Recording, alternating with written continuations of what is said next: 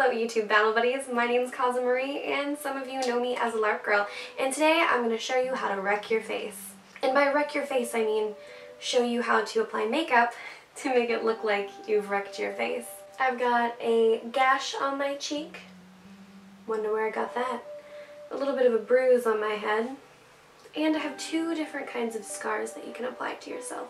A fresh one and one that's kind of been there for a while powder, eyeliner, blah, blah, blah, and I'm to put my hair back so we don't get any liquid latex or rigid collodion in my hair. The things that we're going to be using today is going to be Ben Nye's FX Color Wheel. This is CK1. We're also going to be using some rigid collodion from maxworld.com, flesh latex, and some other stuff to blend with. You're also going to need some tissue paper, some sort of baby powder, and a brush to blend with. Any brush that you're not using will do. First I'm going to show you how to make a open wound on your face.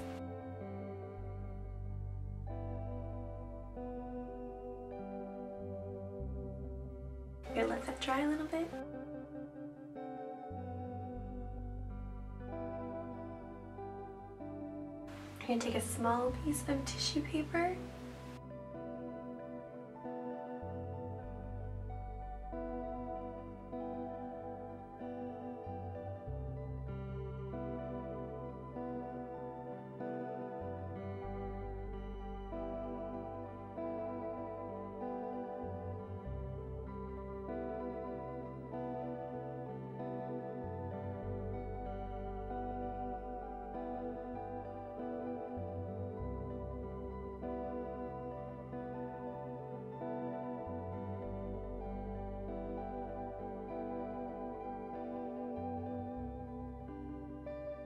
Now going to use some of my favorite foundation to blend a bit.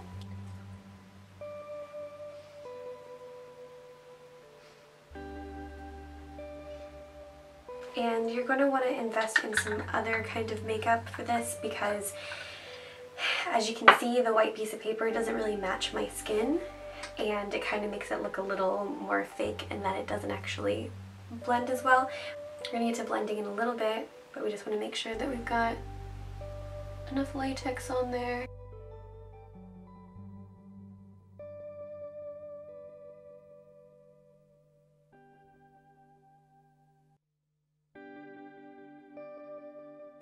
Alright, and we just want to get something to snip this side a little bit.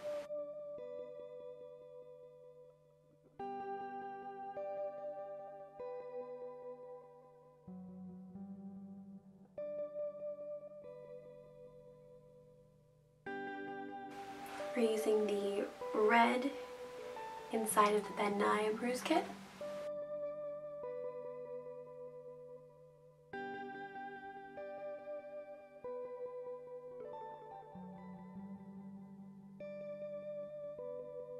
Just want to make it look good.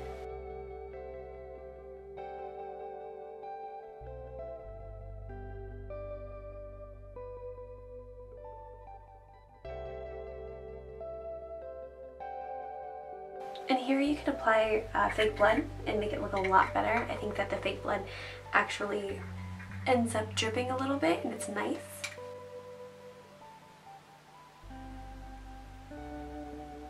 Bruise the skin a bit more.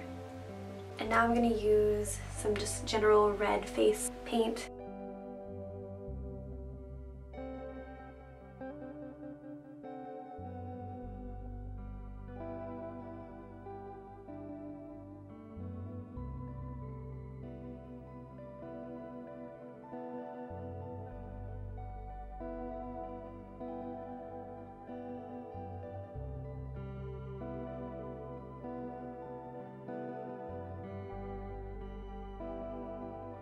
It doesn't look as good as it could, but I'm pretty satisfied with it. Now I'm going to show you guys how to bruise.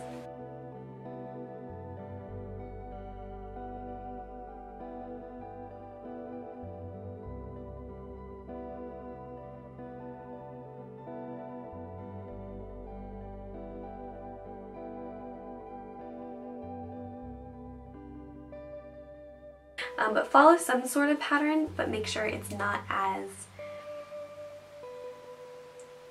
perfect. So we have the green right here, we have the deep purple up here, dark purple up here, and I'm going to add a little bit of red. And blend. The more blending that you do on a bruise, the better it's just going to look with your skin. It's kind of taken over my entire face. I'm going to add just a little bit of something just so that it, it sets a bit better and it doesn't look as fresh. I'm going to blend it with my skin tone.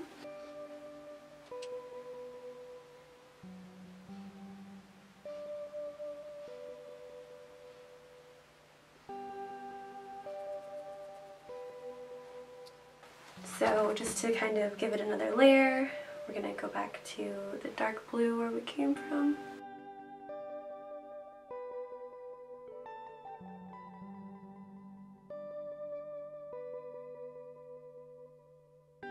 Do it a little bit at a time, you can see the impact that it's having on your skin.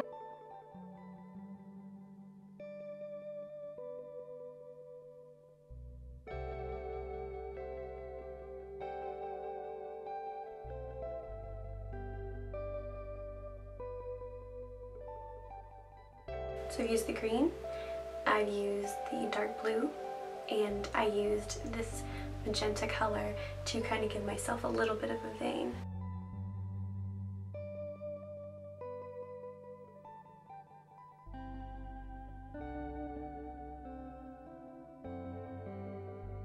Going to show you two different kinds of scars. So we're going to give ourselves a little bit of a base to go from.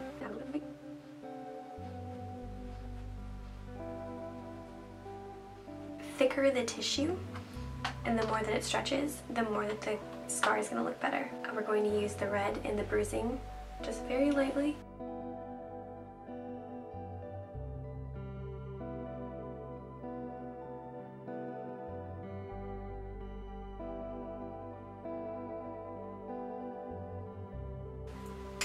Already kind of looking like a scar. The closer that the scar is to your mouth, it's going to hurt a little bit more and tear. Also try and keep it as far away from your eyes as possible because rigid collodion smells really bad and it'll burn your eyes.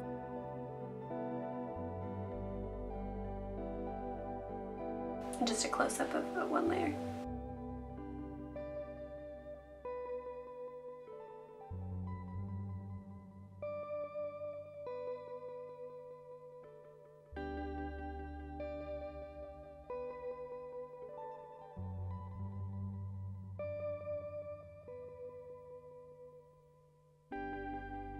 The more that you add, the more of an indent there will be on your skin.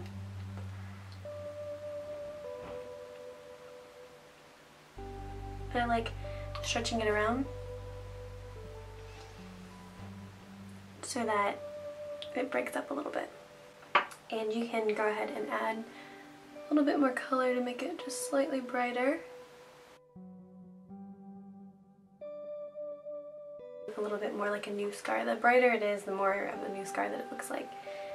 And then I'm just going to go over top of it one more time. Not that anybody cares if it's rock candy from the sugar pop. And we have ourselves a scar.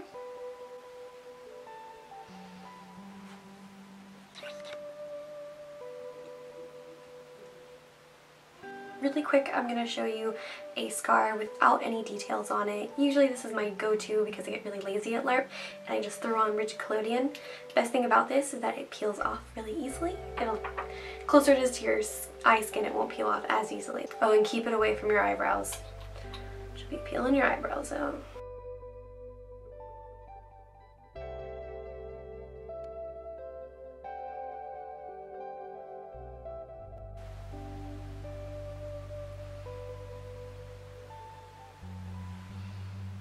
It's okay if it doesn't look perfect. Wounds never look perfect. I generally add about three layers of rigid collodion to my skin. Again, the more you use, the better the results. And if you mess with it a little bit, it will turn out better. You can see that this one's very shiny. I haven't added anything to it, so it's just kind of not very scar-like. I'm just gonna add a little bit of powder to it just to get rid of that shine. Anytime you use a powder that is accenting your skin, uh, make sure that it matches your skin tone as much as possible. That way it still looks like your skin and it doesn't look fake.